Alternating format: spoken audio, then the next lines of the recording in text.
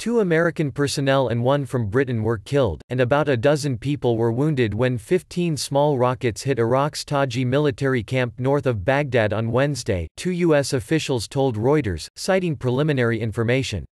The officials said it was too early to assign blame, but any indication that Iran-backed militia were responsible could ignite a new round of military escalation between the United States and Iran. The officials, speaking on condition of anonymity, declined to quantify the number of troops and military contractors among the dead and wounded and noted that the information was just coming in and could change.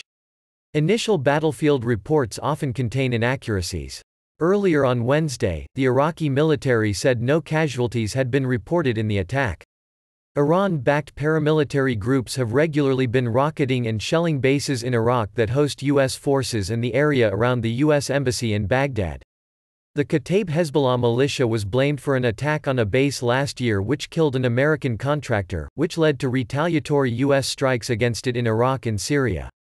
Earlier this year, 11 Iranian ballistic missiles struck the al-Asad air base in Iraq after the United States killed a top Iranian general.